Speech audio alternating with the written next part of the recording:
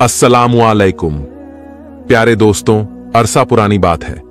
एक बादशाह के यहाँ एक जादूगर रहता था, जो अपने जादू में काफ़ी ज़्यादा माहिर था। बादशाह की सल्तनत गोया उसके जादू के बलबूते पर कायम थी। वो जादूगर बादशाह के दुश्मनों को अपने जादू के ज़ोर से हलाक कर देता था। लड़ने झगड़ने की कोई ज़रूरत नहीं पड़ती थी। अमीर लोग और दौलतमंद अगर बादशाह से नाराज़ होते या बगावत करते तो ये अपने जादू के ज़ोर से उनका रुख बादशाह की तरफ़ से मोड़ दिया करता था। इस तरह वो हर काम जादू से कर देता था, जब वो जादूगर बूढ़ा हो गया और उसको अपनी ज़िंदगी से उम्मीद खत्म हो गई तो उसने बादशाह से अर्ज़ किया कि, बादशाह, सलामत, अब मैं बूढ़ा हो चुका हूँ। मेरी ज़िंदगी अब खत्म होने को है। आप कोई जहीन और समझदार नौजवान मेरे साथ कर दे, ताकि मैं उसको अपने जादू का इल्म सिखा दूँ। ताकि मेरे बाद वो आपके हुकूमत और सल्तनत को दुरुस्त रखे। चुनाचे बादशाह ने सल्तनत का एक अक्लमंद और होशियार लड़का उसके हवाले कर दिया। वो लड़का उस जादूगर के पास सुबह शाम हाजिर होने लगा और जादू सीखने लगा। रास्ते में एक राहिब अपने इबादत खाने में रहता था। एक दिन उस लड़के ने देखा कि बहुत से लोग इबादत खाने से निकल रहे हैं। उस लड़के ने मालूम किया कि यहाँ कौन रहता है। तो लोगों ने बताया कि यहाँ एक राहिब रहते हैं। ये सुनकर वो लड़का भी उस राहिब के पास पहुँच गया और उसने उस राहिब की बातें सुनी तो राहिब की बातों का उसके दिल पर काफ़ी ज़्यादा गहरा असर हुआ। राहिब ने उस लड़के को दीन हक और एक खुदा की इबादत करने की तालीम देनी शुरू की तो लड़का ईमान ले आया। ये लड़का जादूगर के पास जाते हुए रास्ते में राहिब के पास ठहर जाता था। जिसकी वजह से देर हो जाती थी और देर हो जाने की वजह से जादूगर उस लड़के पर गुस्सा होता था। लड़का कहता कि मुझे कुछ देर हो गई है। आखिर जादूगर ने बादशाह के पास शिकायत कर दी तो बादशाह ने लड़के को ताकीद की, इसके के पास सवेरे पहुँच जाया करो। उसके दरबारियों ने कहा कि लड़का तो सवेरे ही घर से निकलता है, लेकिन रास्ते में देर करता है तो बादशाह ने सोचा कि खेलकूद में लग जाता होगा। इसलिए दोनों ने लड़के को खूब समझाया, लेकिन लड़का राहिब के पास जाता रहा। एक दिन ये लड़का राहिब के पास से बादशाह की तरफ़ जा रहा था कि क्या देखता है कि किसी जानवर ने रास्ता रोक रखा है, इधर के लोग इधर और उधर के लोग उधर खड़े हैं। लड़के ने दिल में ख्याल किया कि आज इम्तिहान लेता हूँ कि ये राहिब हक पर है या जादूगर ये ख्याल करके उसने पत्थर उठाया और ये कहकर उठाया कि ए खुदा, अगर इस राहिब का मज़हब हक पर है तो इस पत्थर से इस जानवर को हलाक फरमा दे, और वो पत्थर उसको मार दिया। वो जानवर उससे फ़ौरन हलाक हो गया। लोगों ने ये वाक्य देखा तो कहने लगे, इसको जादूगरी में कमाल हासिल हो गया है। अब लड़के की हर जगह तारीफ़ होने लगी थी, और उसकी खूब शोहरत भी हो गई। आहिस्ता आहिस्ता ये खबर राहिब तक भी जा पहुँची। उसने लड़के को तन्हाई में बुलाकर कहा, बेटा, तुझको अल्लाह ने बुज़ुर्ग और कमाल से नवाजा है। मैं जानता हूँ कि तेरा मर्तबा काफ़ी बुलंद होने वाला है। और तू किसी आजमाइश में मुबतला होगा, लेकिन याद रखना मैं बूढ़ा हो चुका हूँ। किसी को मेरा पता ना बता देना। लड़के ने वादा किया कि मैं अब आपका पता किसी को नहीं बताऊँगा। ला इलाज मरीज़ उस लड़के की दुआ से शिफायाब होने लगे थे। वो लड़का खूब मशहूर हो गया। उसकी शोहरत को सुनकर उस बादशाह का एक अंधा साथी उसके पास आया और खूब तोहफे और नजरान पेश करके अर्ज़ करने लगा। मुझे भी ठीक कर दो। मेरी आँखें भी अच्छी हो जाएगी। लड़के ने कहा, मुझे कोई नजराना, कोई तोहफा नहीं चाहिए, और शिफा मेरे हाथ में नहीं है, बल्कि शिफा देने वाली जात तो अल्लाह ताला की है। अगर आप अल्लाह ताला पर ईमान ले आओ, और शिरक और बुत परस्ती से तौबा कर ले तो मैं अल्लाह से दुआ कर देता हूँ, कि आपकी आँखों की रोशनी वापस आ जाए। वो शख्स उसी वक्त मजलिस में मुसलमान हो गया। फिर उस लड़के ने दुआ कर दी। तभी उसकी आँखें रोशन हो गईं। मामूल के मुताबिक, जब यह शख्स बादशाह की मजलिस में हाजिर हुआ तो बादशाह उसकी आँखें लौट आने पर काफ़ी ज़्यादा हैरान हुआ। उसने कहा, मेरी बादशाहत में सभी हकीम और तबीब तेरी आँखों के इलाज से आजिज हो गए थे। आखिर तुझको किससे शिफा हासिल हुई? साथी ने कहा, मेरे परवरदिगार ने अपनी कुदरत से मुझे बिनाई अता फरमाई है। बादशाह ने कहा, मेरे सिवा तेरा परवरदिगार कौन हो सकता है? उसके साथी ने कहा मेरा रब और सारी कायनात का परवरदिगार, वो अल्लाह है, जिसने सारी मखलूक को पैदा किया। बादशाह गुस्सा हुआ और अपने साथी को सख्त सजा दी। पूछा यह खुदा तुझको किसने सिखाया है? सख्ती से घबराकर उसने लड़के का नाम बता दिया। बादशाह ने लड़के को बुलाया और कहा, तुझको मेरी परवरिश और मेरे जादूगर के फैज से यह कमाल हासिल हुआ है। लड़के ने कहा मेरे और आपके और जादूगर के हाथ में शिफा नहीं है। ये अल्लाह की कुदरत पर मौकूफ है। बादशाह सख्त नाराज़ हुआ और उसको कड़ी सजा दिलवाई और कहा यह लड़का बहुत गायब रहता था। मालूम होता है कि किसी और जगह जाता था।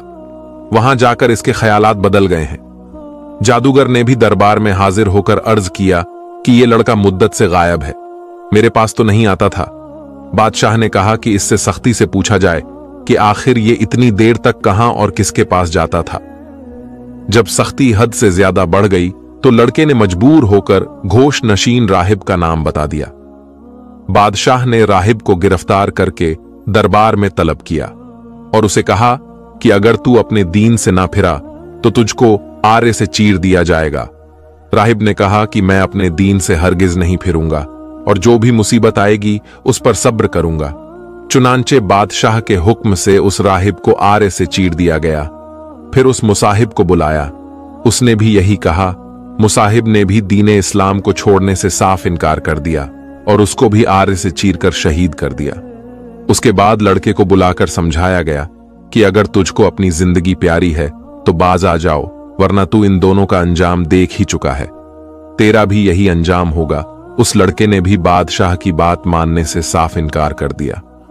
बादशाह ने चंद आदमियों को हुक्म दिया कि लड़के को पहाड़ की छोटी पर ले जाओ और उसको खूब समझाओ और धमकाओ, अगर मान गया तो उसको बड़ा मुकाम और इज़्ज़त देंगे और अपना साथी बना लेंगे।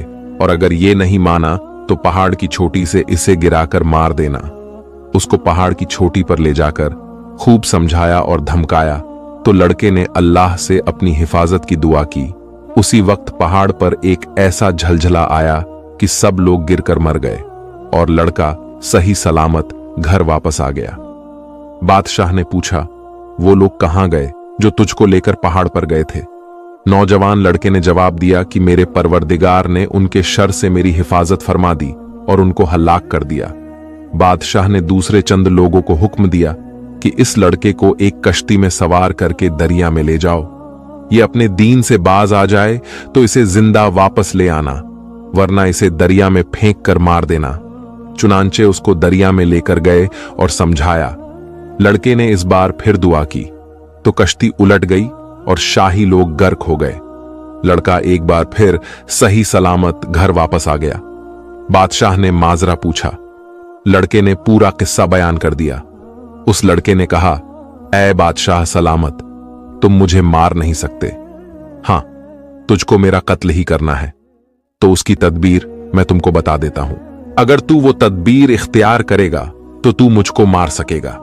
बादशाह ने तदबीर खोजी तो लड़के ने कहा, इस शहर के तमाम लोगों को शहर से बाहर एक मैदान में जमा कर ले और मुझको सूली पर चढ़ाकर एक तीर अपने तरकश से निकालकर बिस्मिल्लाह पढ़कर तुम मुझे मार देना। मैं मर जाऊँगा। बादशाह ने यही किया तो तीर उस लड़के की सिर पर लगा।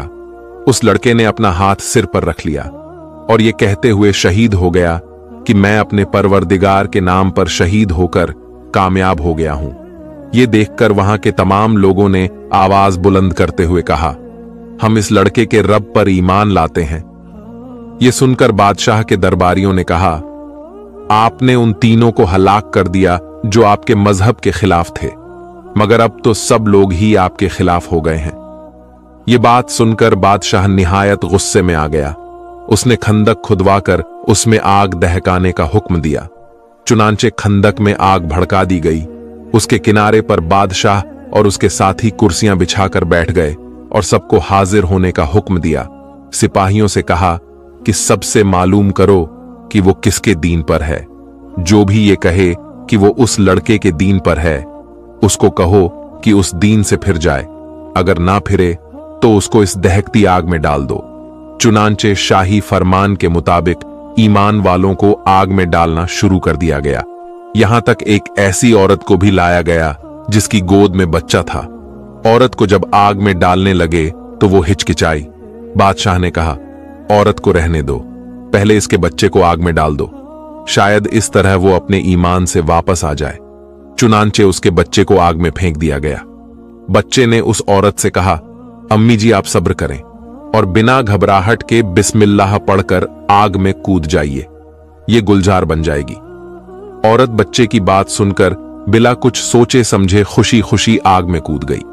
उसके बाद आग ऐसी भड़की ऐसी भड़की कि उसने बादशाह और उसके तमाम साथियों को, जो कि कुर्सियों पर बैठकर मजलूमों के जलने का तमाशा देख रहे थे, सबको जलाकर राख कर दिया। हज़रत इब्ने अनस रज़ी अल्लाह फरमाते हैं कि अल्लाह ताला ने इन मुसलमानों के आग में जाने से पहले ही उनकी रूह कब्ज कर ली थी। इस तरह उनको इसकी तकलीफ़ से अल्लाह ताला ने महफूज रखा। मोहम्मद बिन इक्रमा रहमतुल्लाह आलह ने इस वाक्य को बहुत तफसील से ज़िक्र किया है और यह भी लिखा है कि उस लड़के का नाम अब्दुल्लाह बिन ताम्र था। उन्होंने लिखा है कि ये वाक्य यमन के शहर नजरान में पेश आया था और इस हादसे में उस जालिम बादशाह ने तकरीबन बीस हज़ार लोगों को आग में डाल करके शहीद कर दिया था। कहा जाता है कि लड़का अब्दुल्लाह बिन ताम्र इसी मकाम पर दफन हुआ। हज़रत उमर फारूक रज़ी अल्लाह अनहू के जमाना खिलाफत में इत्तेफाक से किसी ज़रूरत की बिना पर ज़मीन खोदी गई तो उसमें अब्दुल्लाह बिन ताम्र की लाश सही सलामत इस तरह बरामद हुई कि वो बैठे हुए थे और उनका हाथ अपने सिर पर रखा हुआ था। किसी देखने वाले ने उनका हाथ जगह से हटाया तो खून जारी हो गया। फिर वो हाथ उसी जगह पर रख दिया गया तो खून बंद हो गया।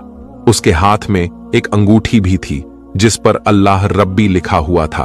अमीर यमन ने इस वाक्य की इत्तला फ़ौरन हज़रत उमर फारूक रज़ी अल्लाह अनहू को दी।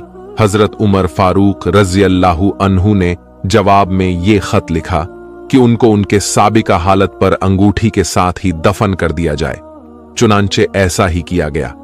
दोस्तों, हमें इस वाक्य से सबक मिलता है कि अपने ईमान पर इस्तिकामत के साथ जमा रहना चाहिए, चाहे उसके लिए कुछ भी करना पड़े। अपने दुनियावी तकाजे को चाहे कुछ देर रोक दें, और खास तौर से इस वक्त जबकि दुनिया जुल्म भरी पड़ी है। तो ऐसे वक्त में कोशिश करनी चाहिए कि हम अल्लाह के नेक और फरमाबरदार इबादत गुजार बंधे बन जाएँ, जिससे हमें बुराई और भलाई नज़र आने लगे। अल्लाह ताला हम सबका खात्मा ईमान पर फरमाए। आमीन। दोस्तों उम्मीद करते हैं कि आज की वीडियो आपको ज़रूर पसंद आई होगी। अगर पसंद आई हो तो लाइक करें चैनल को सब्सक्राइब करें और बेल आइकन का बटन भी दबाएँ। शुक्रिया।